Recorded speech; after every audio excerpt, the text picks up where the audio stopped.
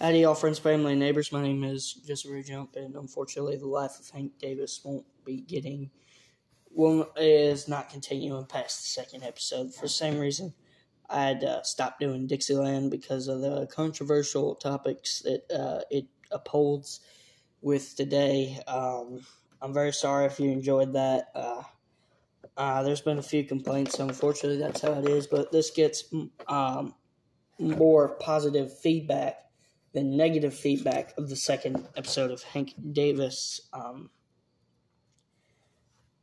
then we'll continue it. Probably not soon.